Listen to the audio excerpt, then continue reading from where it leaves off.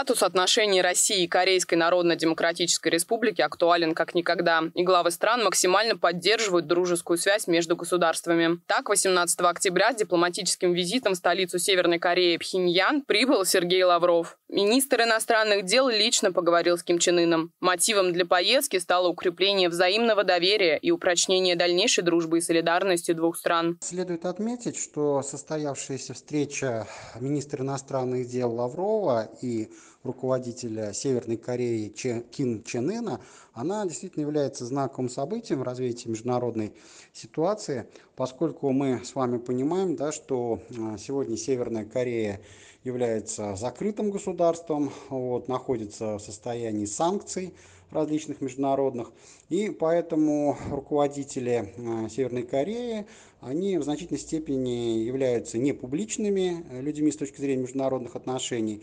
И если такие встречи организуются, то это говорит о высокой степени доверия руководства Северной Кореи к тем а, государствам, представителей тех государств, а, с которыми они проводят эти встречи. История взаимоотношений двух сильнейших в мире держав берет свое начало еще со времен окончания Второй мировой войны, и дружественная линия гнется до сих пор. Так, Советский Союз стал первым государством, которое признало Корейскую Народно-Демократическую Республику как независимую страну в 1948 году. В 2023 же году Россия возобновила поставки нефти в Северную Корею, а также напрямую объявила о поставке гуманитарной помощи в страну. И обсуждались вопросы, в первую очередь, связанные с ситуацией на Корейском полуострове.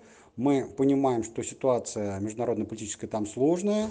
Вопрос а, об отношениях Северной и Южной Кореи не решается уже на протяжении длительного времени.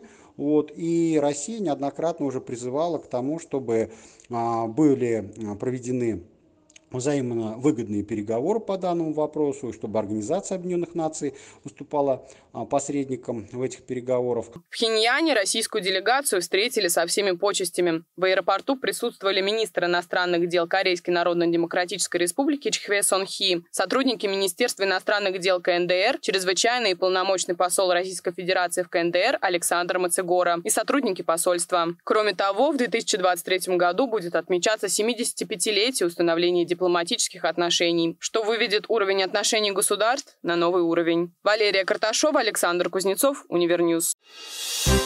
Thank you